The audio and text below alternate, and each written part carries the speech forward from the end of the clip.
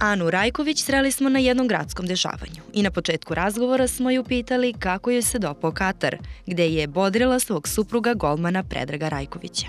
Pa iskreno ti kažem, uh, zamišljala sam mnogo bolje, s obzirom da je to, da kažem, grad koji je napravljen u pustinji i nije, ni, nisam se nekako oduševila, s obzirom da sam obišla mnoge evropske gradove, a onda poraz kao šlag na tortu, pa eto, ne mogu da kažem da mi je ostao nekom lepom sećanju. Naravno da nas je zanimalo i kako komentariše prerano ispadanje Orlova na svetskom prvenstvu, koje se završilo triumfom argentinske reprezentacije.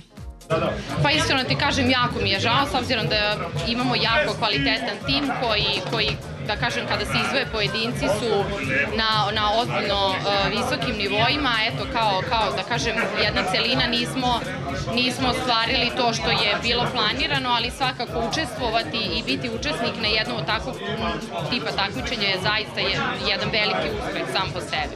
S obzirom da se njeno ime spominjalo u aferi koja je tresla kako javnost, tako i same redove naše reprezentacije, želeli smo da čujemo iz prve ruke šta se tu zapravo desilo.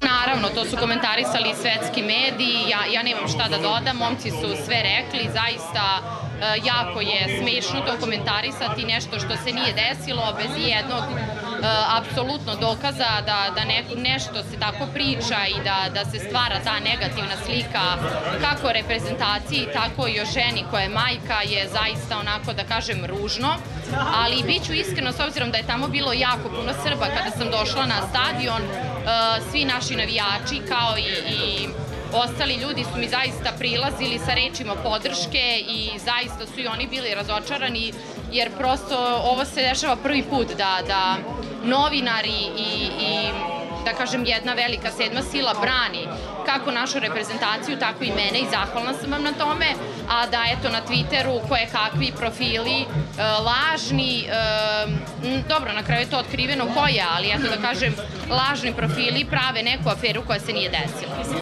A da li je čitav slučaj prijavljen nadležnim organima, Ana je bila jasna. Naravno, naravno, e, samim tim tako sam, tako sam i najlakše otkrila o kome se radi, tako da e, malo će se sad policija baviti, a ja ću na kraju dodati šlag na tortu. Anu smo morali da upitamo da li je ovaj nemili događaj uticao na njen odnos sa suprugom. Da. Ne, ne, zašto, zašto? Ja, ja, e, verujte mi, nama su se dešavale tako neke teške stvari u smislu Mlađi sin nam je bio u bolnici, kao što ste mogli da vidite, neću ništa komentarisati o tome, ali e, to je ono što je moglo nas da poljulja u emotivnom smislu. E, to zdravstveno stanje našeg sina, a budalaštine koje neko piše, izmišlja, e, ne, to je samo moglo da ojača naš odnos kao što možete i da vidite da se desi. Na pitanje da li iduće godine možemo očekivati još jednog sina, Ana nam je rekla. Molim vas čerku. Može i dve, ali čerke. Je tvoja želja da imaš žensko delo? Jeste, evo, da kažem. Kaže supruga. Jeste, jeste. Prvo je bila Eleni Rajković, onda se rodio Relja, onda smo smislili Kalina, onda se rodio Tadija. E, sad ćemo smisliti muško ime da se rodi žensko, ne znam šta da vam kažem. Da li idete do petoro?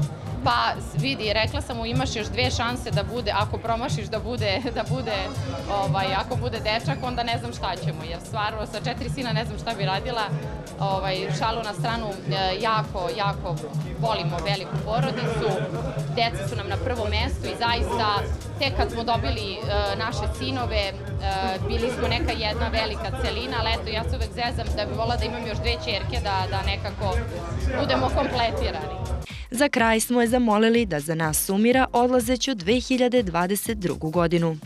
Godina mi je počela pljačkom prve, prve pljačke naše kuće, zatim smrt, smrt mog deteke koji mi je bio kao otac, zatim smo imali još jednu pljačku, pa još jednu pljačku, pa bolest našeg sina, evo onda ova izmišljena afera, tako da eto, ne znam šta da vam kažem, godina kao godina, eto, ako je morala takva da bude, neka je i to je to.